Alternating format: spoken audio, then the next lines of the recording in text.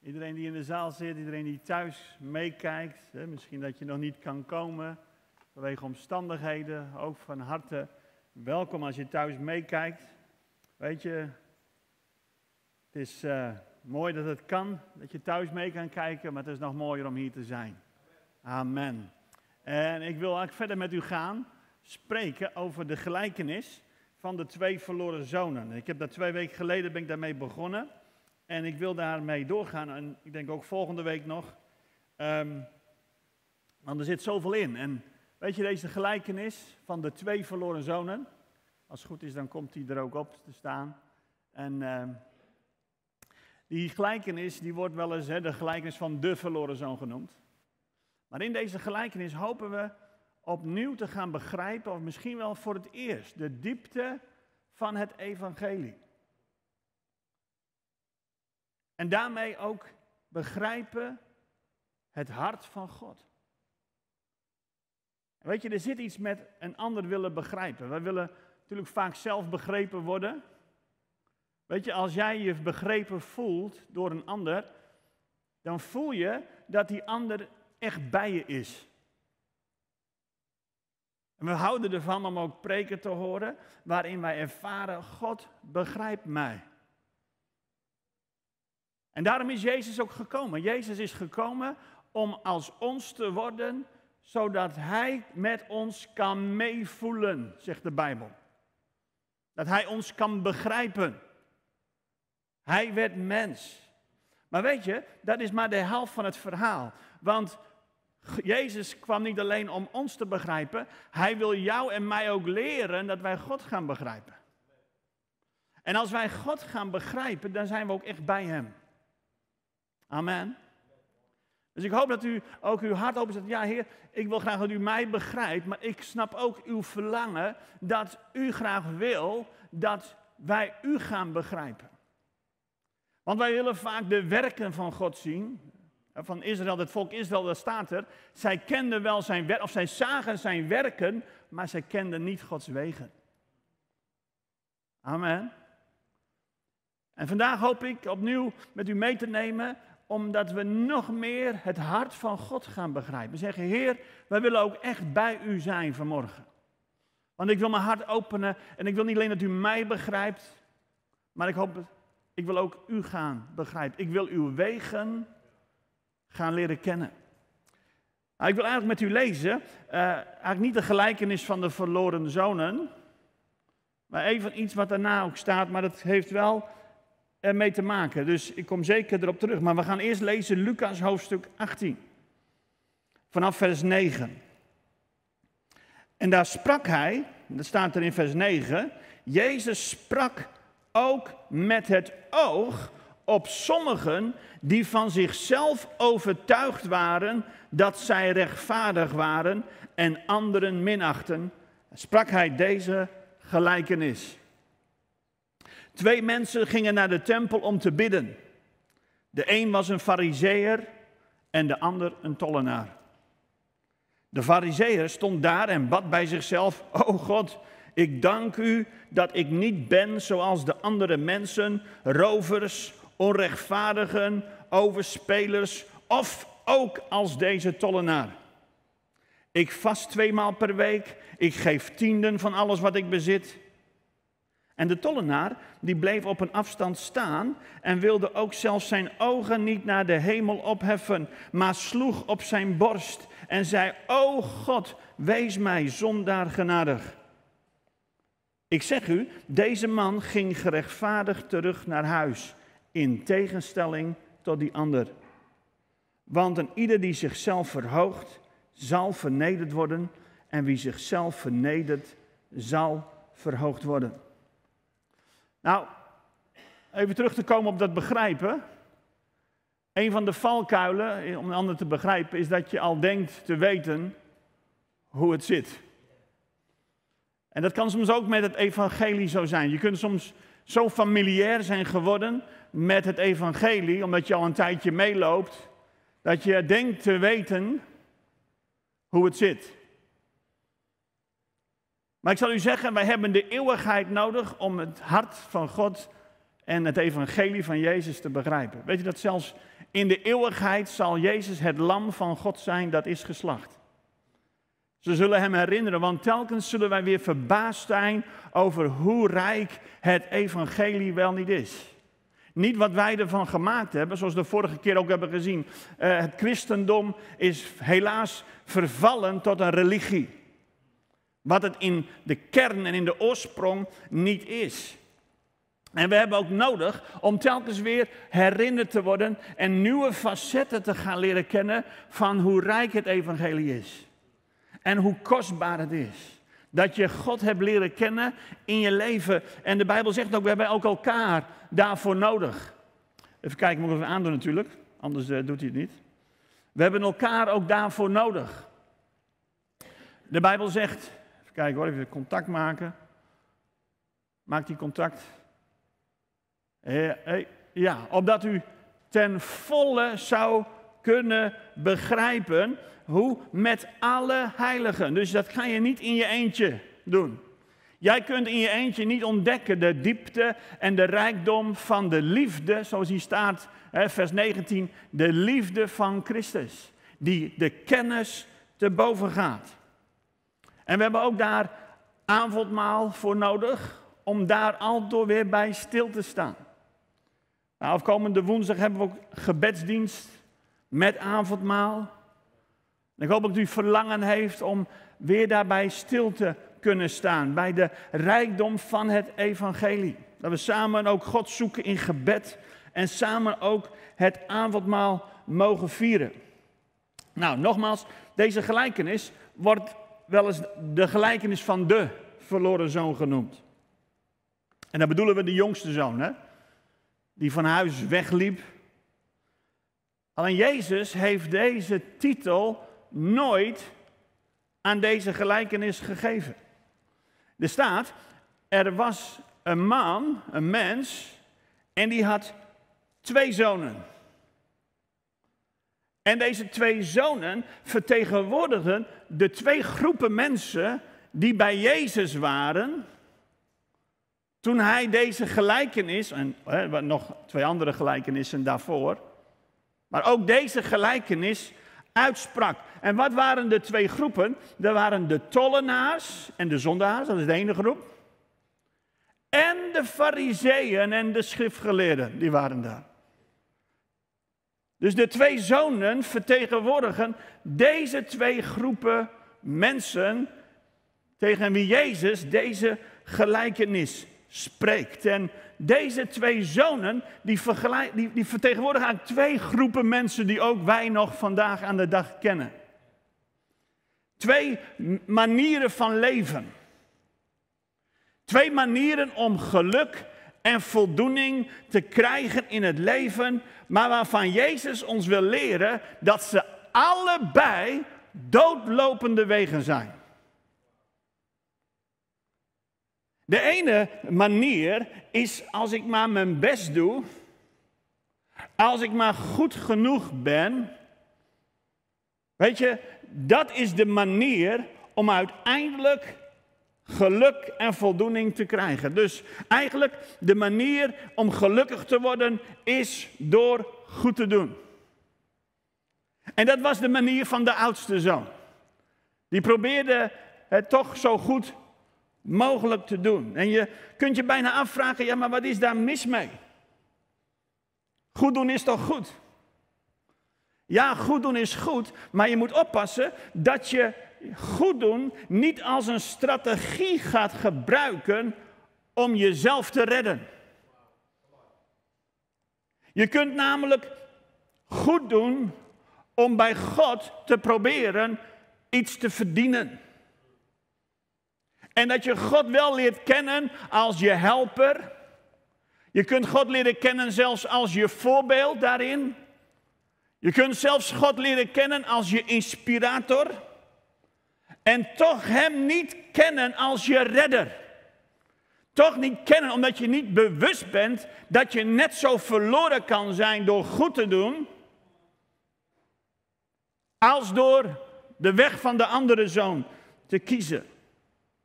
En sommige mensen proberen door goed te doen eigenlijk God onder controle te krijgen.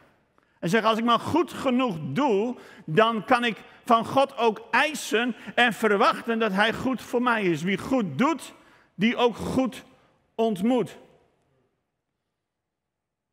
En daarmee kan ik God gebruiken voor mijn doeleinden. Ik doe dit en dan moet God voor mij dat doen. Nou, de tweede weg is de jongste zoon. En de weg van de jongste zoon was wat? Ik laat me niet gezeggen wat ik doen moet.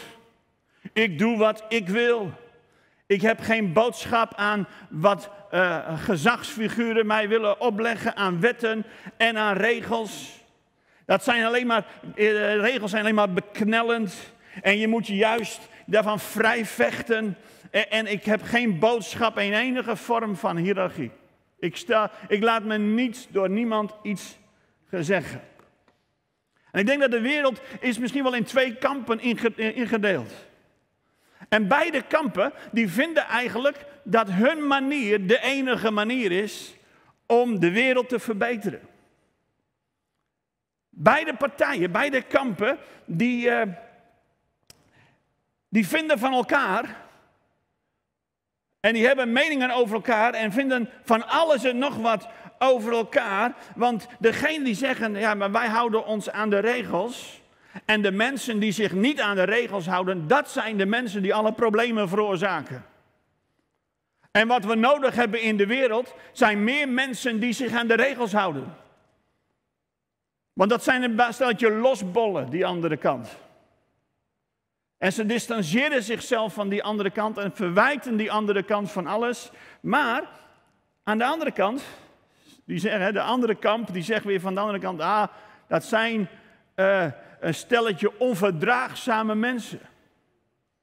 En sterker, ze zijn zelfs hypocrieten, want ze zeggen de waarheid te kennen, maar zelf houden ze zich niet eens aan de regels waarvan ze zeggen dat ze daar zich aan houden. En zij vinden juist dat die bekrompen mensen het probleem zijn in de wereld. En dat de wereld moet veel meer gevuld worden met vooruitstrevende mensen. Met vrijheidsdenkers. Dat, dat is de oplossing voor de wereld. Sommige mensen die combineren die twee benaderingen soms wat door elkaar heen. want sommige mensen die zeggen heel christelijk te zijn of heel fatsoenlijk die houden er soms geheimelijk toch een heel losbandig leven erop na. Dus het is soms ook niet dat je in één kamp altijd bent. En, en, en eigenlijk lijk je misschien meer op elkaar als je denkt, want weet je, de, degene die, nogmaals, die zo, uh, die de anderen verwijten van het zo, zo bandig, losbandig te leven, die soms geheimelijk dat zelf ook doen. Of die ander die zegt zo, los, eh, zo vrij te zijn en zo vooruitstrevend. Wee je gebeente als je anders denkt als hun. Dan ben je net zo'n fariseer misschien wel als wat jij dacht dat die ander dat is. Maar goed, die twee kampen, die vind je dus terug. De tollenaars en de zondaars en de fariseeën en de schriftgeleerden. Alleen een christen past in geen van deze beide hokjes. Waarom? Omdat Jezus niet in één van deze twee hokjes paste. En dat was het probleem van de fariseeën en de schriftgeleerden. Zij snapten niet dat Jezus niet aan hun kant stond. Hoe kon die Jezus met die losbollen van die tollenaars en zondaars, er waren prostituees, waren daarbij enzovoort. Hoe kon Jezus nou met hun omgaan en zich niet distancieren van die andere kamp en daar zijn mening over uitspreken? Wat staat er? Er staat dat de fariseeërs, die zeggen deze man die ontvangt zondaars en die eet met hun. Omdat Jezus niet in die twee kampen paste, snapten ze er niks van. En weet je wat mensen niet snappen? Dat gaan ze veroordelen. Daar gaan ze iets over vinden. En er staat ook dat de, de, de schriftgeleerden die begonnen onder elkaar te morren. Ze morden onder elkaar en zijn deze man die eet met zondaren. Nou, eten in die cultuur sowieso is, en ook misschien nog wel vandaag de dag in onze cultuur, als je met iemand eet, dan is dat een complete vorm van acceptatie. Je accepteert, je keurt misschien niet alles goed, wat die ander doet, maar je aanvaardt die persoon compleet zoals hij of zij is. En het is naar aanleiding dat de Fariseeërs begonnen te mopperen dat Jezus niet in hun kamp zat. En het leek wel alsof hij aan de andere kant zat, want hoe kan het nou dat die, die, die zondaren zich zo thuis voelen en aangetrokken voelen tot Jezus? Praat hij hun een beetje naar de mond? Zegt hij niet waar het op staat? En dan zie je, dan spreekt hij deze gelijkenis tot hen. En eigenlijk is deze gelijkenis, die bestaat uit drie gelijkenissen. Want de eerste gelijkenis was de gelijkenis van een verloren schaap. Dus Jezus gaat nu uitleggen aan deze twee partijen wat het is om verloren te zijn. En volgende week wil ik daar iets meer over zeggen, dat we een, een bredere kijk krijgen wat het is om verloren te zijn. We hebben soms een heel uh, eenzijdige kijk daarop. En wat is nu werkelijk zonde? Maar voor nu, Jezus sprak die gelijkenis om uit te leggen wat is nou verloren zijn. En hij gebruikt daar drie gelijkenissen voor. Want verloren zijn heeft veel meer kanten dan je even in één gelijkenis kunt omvatten. De eerste gelijkenis was die van de verloren schaap. En weet je, eigenlijk geven die gelijkenissen ook aspecten weer van wat het is om verloren te zijn. de aspecten, verloren schaap is een schaap, is van nature geneigd om verloren te raken. Een schaap is geneigd om maar een beetje rond te dwalen.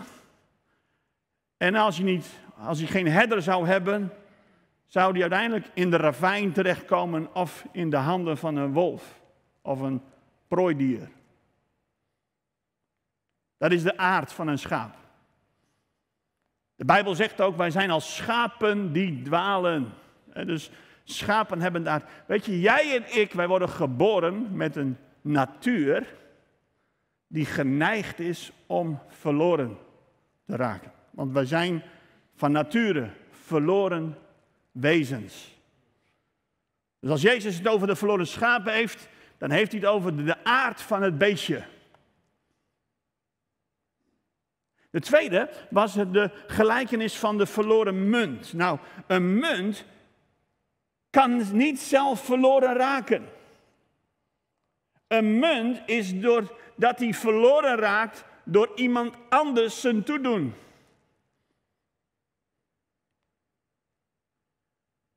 Soms kun je ook verloren zijn geraakt door dat wat jou overkomen is in het leven. Dat je door hele moeilijke situaties, misschien in je opvoeding of waar dan ook, heb je hele zware dingen meegemaakt en is er in jou van alles geneigd om verloren te raken. Dat is de gelijkenis van de verloren munt. En dan heb je ook nog een dief. Die komt om te stelen, om te slachten, om te roven. Dus je kunt ook gestolen worden. En in de derde plaats was het dan de gelijkenis van deze verloren zonen. En dat houdt ook in dat jij ook verantwoordelijk bent. Want jij kunt kiezen in welke verhouding ik tot de vader sta. De ene zoon die koos om weg te gaan bij de vader. En de ander die koos misschien wel om fysiek te blijven, maar in zijn hart was hij misschien nog wel verder verwijderd van de vader dan de zoon die weg was gegaan. En je ziet dus, er zijn overeenkomsten intussen deze drie gelijkenissen. Er raakt alle, in alle drie iets verloren. Maar er is ook één groot verschil.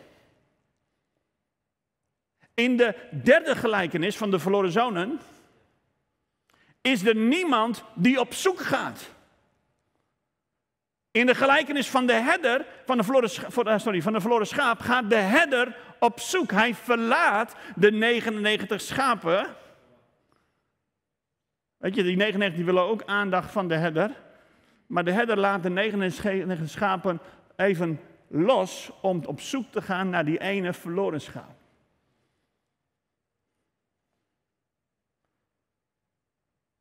In het tweede geval van de munt gaat de vrouw die van het huis, die die munt kwijt is geraakt, zet alles op alles, zet het hele huis op de kop, want zij zou en moest die verloren munt terugvinden. Maar in het geval van de verloren zonen, er is niemand die op zoek gaat. Waarom ging er niemand op zoek? Waarom ging de vader niet weg van huis? En ging op zoek naar zijn zoon die verloren was geraakt. Ik zal u zeggen, dit was het punt van Jezus. Want de vader sprak van God, je spreekt van God. Maar hij sprak hier tot die fariseeën, die waren als die oudste broer. En hij wil hun, bij hun een punt overbrengen. En zeggen, jongens, jullie hebben wel een oordeel dat ik met zondaren omga. Maar jullie snappen niet. Jullie zouden dat moeten doen, wat ik aan het doen ben. Jullie zouden op zoek moeten gaan naar het verlorene en het weer te zoeken. Maar niemand ging op zoek. Misschien dacht de fariseeërs en die oudste broek wel, nou ja, die zoon die weg is gegaan, eigen schuld, dikke bult. Had je maar niet weg moeten gaan. Nu krijg je dat ervan. Maar Jezus legt uit, hij zegt, de mensenzoon is juist gekomen om wat verloren is weer te zoeken en wat te redden. Weet je, ik ben zo blij dat onze oudste broer, halleluja, mijn oudste broer, jouw oudste broer. Als je christen wordt, dan wordt Jezus je oudste broer. Onze oudste broer heeft het huis van de Vader verlaten en is onder ons gekomen. En hij is gekomen om wat verloren is te zoeken en het weer te redden.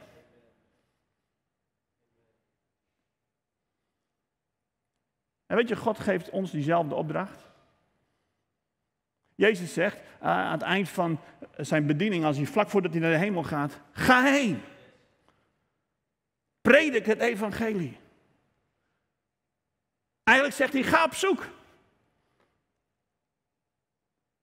En hoe kan het dan dat wij zo weinig bezig zijn met op zoek zijn naar het verloren? Waarom hebben wij als, ik praat even in het algemeen, hè, als kerk vaak ook niet meer de aantrekkingskracht op jonge zonen die Jezus wel scheen te hebben? Kan het zijn dat wij als kerk meer op de oudste broer zijn gaan lijken dan wij misschien zelf zouden willen toegeven?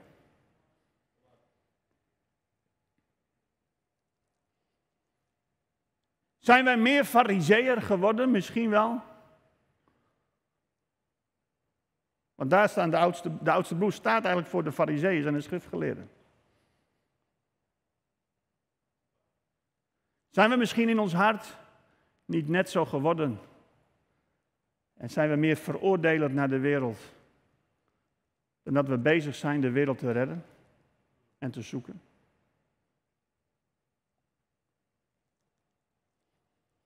Jezus had nog zo gewaarschuwd. Hij zegt, pas op voor het zuurdezem van de fariseeën. Pas op jongens, tegen zijn discipelen, word niet zoals hun.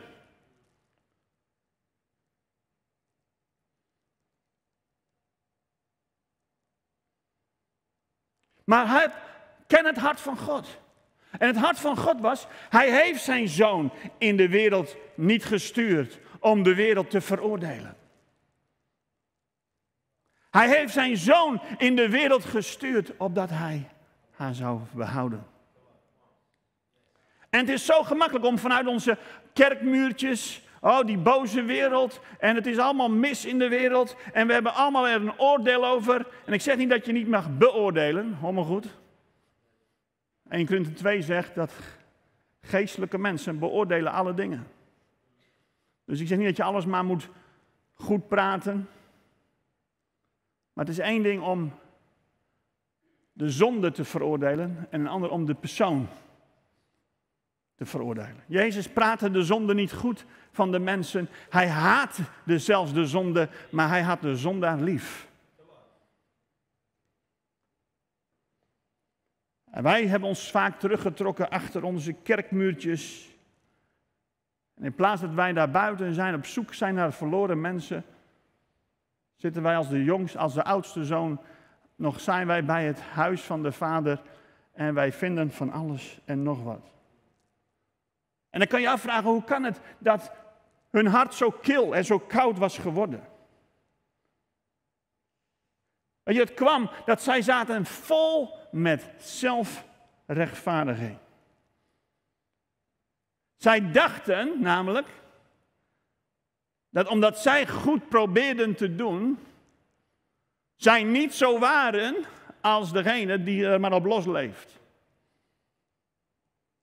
Maar ze hadden niet door dat zij in hun hart, eigenlijk misschien, eh, niet nog erger, maar net zo erg waren als degene die het uiterlijk, aan wie het uiterlijk ook kon zien.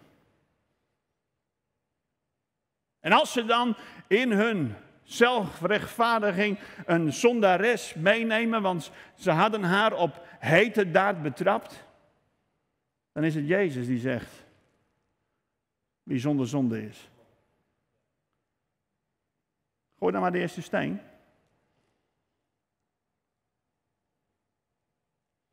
Dus je kunt van buiten wel een, hè, zoals hij, een witte graf zijn, zegt Jezus. Want in die tijd waren alle graven wit geverfd. Maar die zijn van binnen net zo dood als alle anderen om je heen.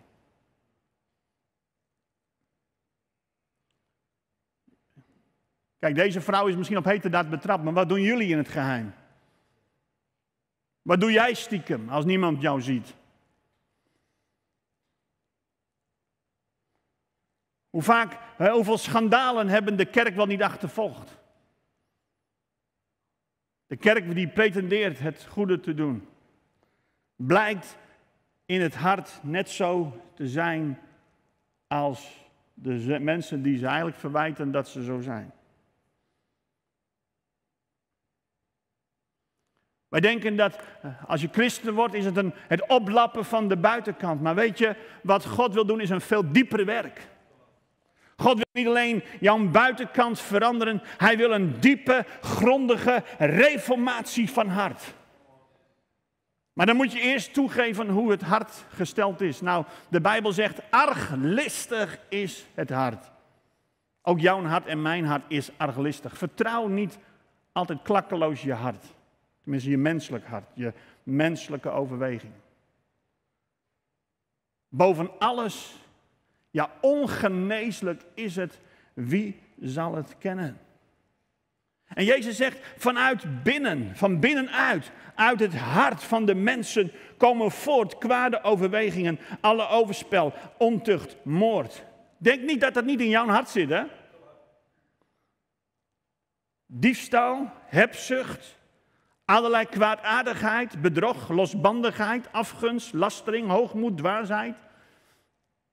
Al deze slechte dingen komen van binnenuit. Weet je, je kan van buiten het wat mooi laten lijken, maar dit is wie wij van binnen zijn. Dit is de schapen die wij van nature zijn. De Bijbel zegt allen. Even kijken hoor. Nou heb ik even verkeerd volgens mij.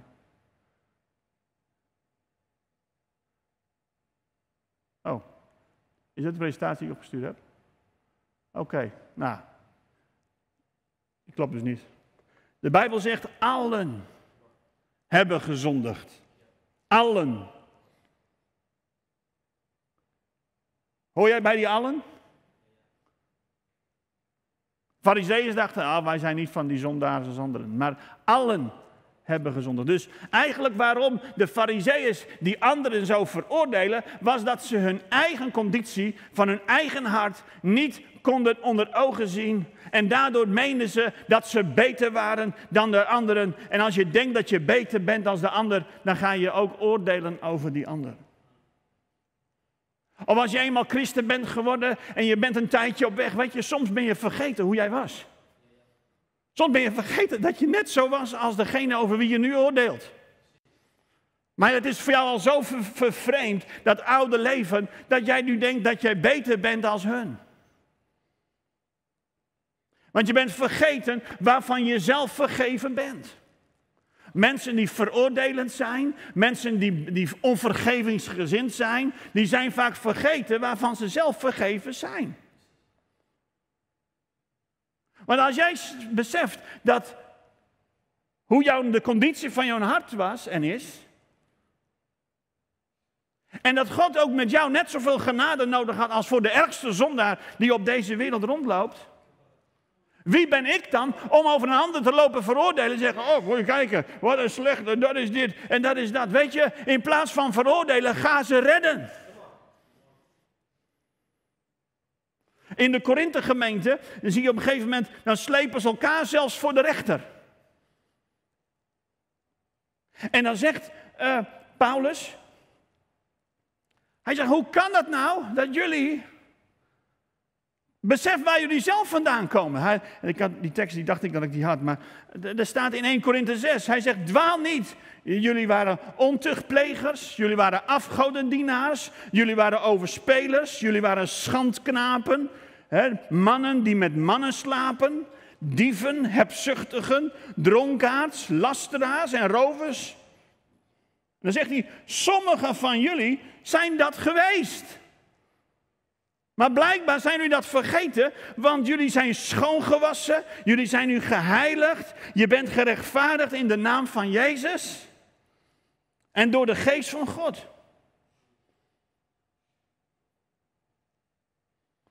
Maar als je dat vergeet, dan kun je al snel weer een ander lopen veroordelen. En dan kun je hem zelfs voor de rechter slepen. Omdat jij meent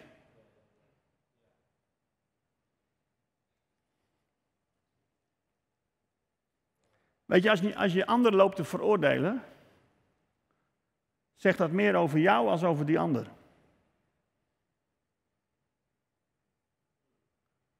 Want blijkbaar, weet je waarom wij vaak een oordeel hebben, is omdat wij iets in onszelf niet onder ogen willen zien. Daardoor veroordelen wij er anderen om.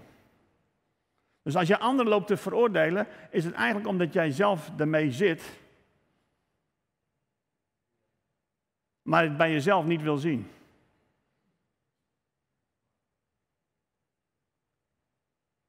Maar als jij beseft dat jij in je hart net zo bent, dan krijg je meer genade met die ander. En dan zeg je eigenlijk, oh, nog zo één als mij. Nog zo iemand als ik. Wow, er was genade voor mij. Weet je, dan is er ook genade voor jou. Amen. Dus soms hebben we niet door dat ons oordeel over anderen kan keihard zijn, maar je hebt niet door, je bent jezelf aan het veroordelen. Toen David uh, Uria had laten vermoorden, kent u nog het verhaal, David? Hij was koning, maar hij zag een mooie vrouw en hij dacht, ja, die is een getrouwde vrouw. Hoe ga ik dat even nou oplossen? Nou, weet je wat? Ik bedenk een mooi plannetje en ik laat haar, haar man vermoorden in de strijd. Lijkt het alsof er niks aan de hand is en kan ik met haar trouwen? Maar God zag zijn hart. En toen kwam de profeet Nathan. En Nathan die zei, er was een koning die had honderd schapen. En er was maar één man die had maar één schaapje. En die koning, die wilde die ene schaap. En liet die man doden. En pakte het ene schaapje van hem af en nam het voor zichzelf. O koning, wat moet er met die man gebeuren? En David ging toch los? David zei, deze man, ik zeg het even in mijn eigen woorden, die moeten ze aan de hoogste boom hangen. En weet je wat Nathan toen zei? Gij zijt deze man. David was zo aan het veroordelen, maar had niet door dat het over hem ging. En jij kunt zo afgeven op anderen. Maar jij afgeeft op anderen, zegt dat ook iets over jou. En misschien wel meer over jou dan over die ander. Daarom, eigenlijk wil ik hiermee afsluiten langzaam. Weet je, wij moeten niet gaan roemen in eigen gerechtigheid. Dan kom ik bij dat voorbeeld wat we lazen. Die fariseeën die in de tempel kwamen en zegt, oh, gelukkig ben ik niet zoals die zondaren.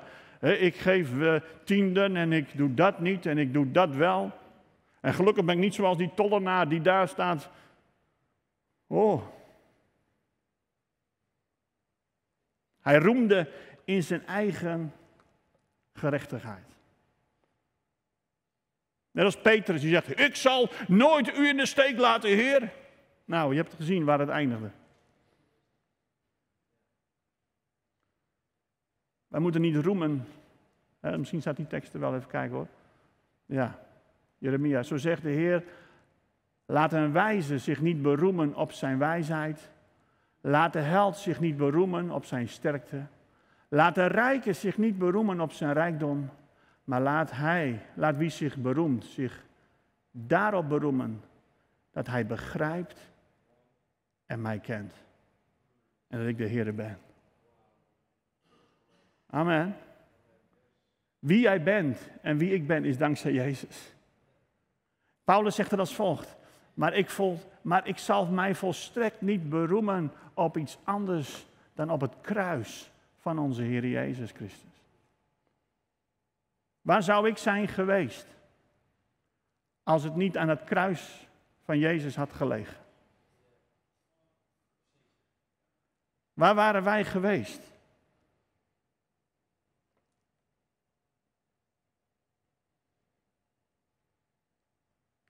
Als jij beseft waarvan God jou vergeven heeft. Weet je, dan zul je ook in plaats veel meer van Hem gaan houden. Want wie veel vergeven is, zal ook veel lief hebben. Kijk eens naar je aanbidding. Hoe gepassioneerd ben je nog om God jouw liefde te geven in aanbidding? Geef je nog je hele hart in de aanbidding? Geef je jezelf helemaal over of is het al wat gereserveerder, omdat je niet meer doorhebt hoe groot Gods genade was ook voor jou? Wie veel vergeven is, zal veel lief hebben. En je zult niet alleen van God meer gaan houden, maar ook van je naaste. Je zult die ander willen gaan zoeken en willen redden. Weet je, een van de redenen waarom wij Barnies hebben, is wij willen niet alleen in de kerk, achter, achter de kerkmuren ons verschuilen, we willen ook openstaan voor mensen die verloren zijn. En het is een hele laagdrempelige manier en we praten misschien wel meer met, niet met mensen als wel, maar die enkeling. Die ene die toch. Daarvoor willen we ook daar zijn. Want de wereld is verloren in schuld. En wij willen niet als de oudste broer. Uh, volgende keer ga ik iets meer, nog meer naar de kern van de boodschap. Maar dit wou ik vandaag belichten. Dat wij niet worden als de oudste broer, als de fariseer die meent dat hij beter is en in zijn eigen rechtvaardiging beroemd. We zeggen, Heer, dank u dat u mij gevonden hebt. En dat u mij gered hebt voor de eeuwigheid. Amen. Dat is het evangelie van Jezus Christus. En als we dat gaan beseffen, dan gaan we steeds meer van God houden. Maar ook van onze naasten als onszelf. En laten we daarin ons beroemen. Ik heb het al eh, eerder gezegd en ik wil de muziek naar voren vragen alvast. We gaan het lied zingen, Kom tot de Vader. Kom zoals je bent. Weet je, Johannes, kijk, Petrus, die roemde in ik zal dit en ik zal dat. Maar Johannes, die zegt een paar keer, ik geloof vijf keer in het evangelie van Johannes, Hij zegt de apostel die Jezus lief had. Niet dat hij Jezus lief had, maar dat hij werd, was geliefd door Jezus. Hij roemde niet in hoeveel hij van, van Jezus hield, hij roemde in hoeveel Jezus van hem hield. En weet je, wie, wie stond als enige bij het kruis? Petrus, die had hem al drie keer verlogend. Want die roemde in zijn eigen liefde voor Jezus. Maar Johannes roemde in Jezus zijn liefde voor hem. En dat had zijn hart zo geraakt. Hij ik, ik moet van hem terughouden. En ik wil all the way gaan voor hem. En hij stond bij het kruis. Als enige. Van al de discipelen. Ik weet niet hoe ver jij wil gaan, maar laten we echt van God gaan houden. Met al geheel ons hart. Geheel onze ziel. En laten we van onze naasten houden. Niet alleen van ons zoals onszelf, maar zoals Hij ons heeft liefgehad. Amen.